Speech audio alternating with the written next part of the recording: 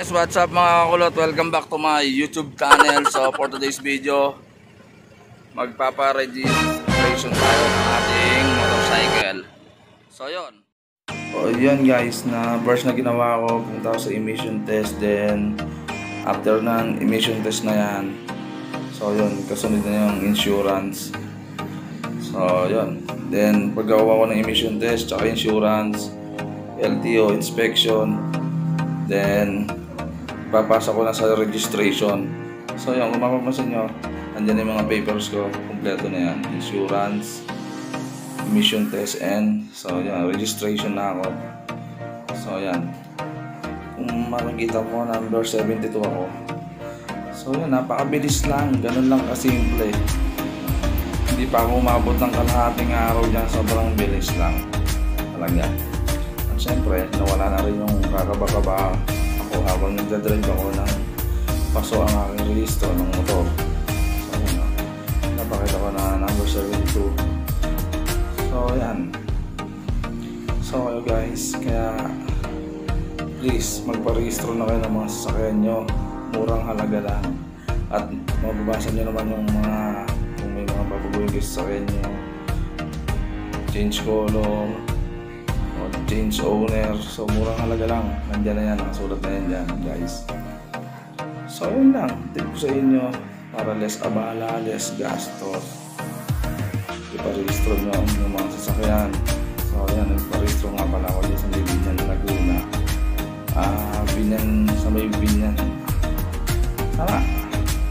Napakabait nilang mga empleyado ng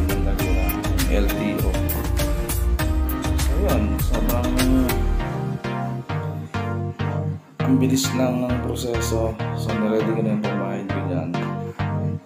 So yun, hindi ko kakalain na magkakaroon pa ng sunod. So ang dala ko ay 1,500. So I think penalty ako ng dalawang buwan. So dahil inabot tayo ng pandemic, patang penalty na yan. So yan na, na-receive ko na yung aking resibo ng aking motorcycle. So yun, let's go home na ako. Mabilis at napakabait ang mga empleyado ng LTO dyan sa Galing. Sobrang bilis ko, saglit lang.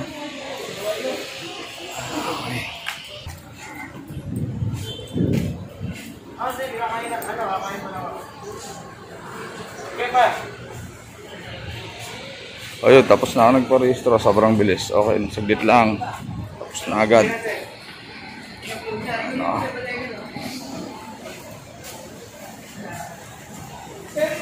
So yun, okay na. Bye-bye na.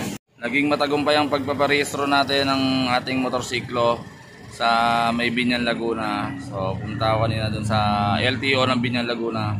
So yun, napakasimple, easy. Walang hassle, dire-diretso yung process. At ang napakahalaga,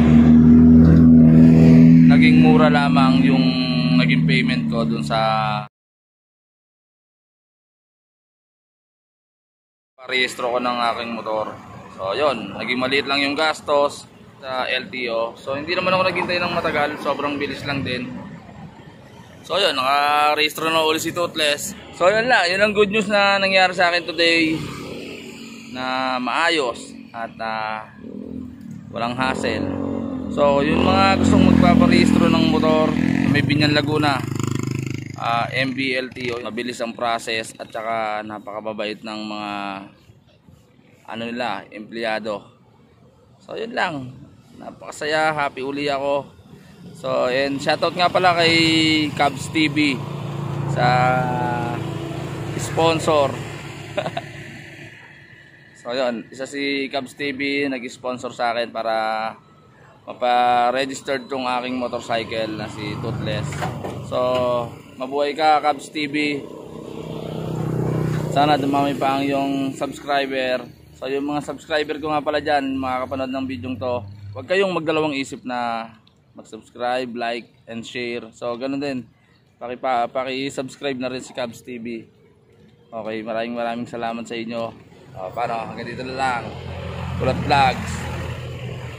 Don't forget to like, share, and subscribe. Bye-bye!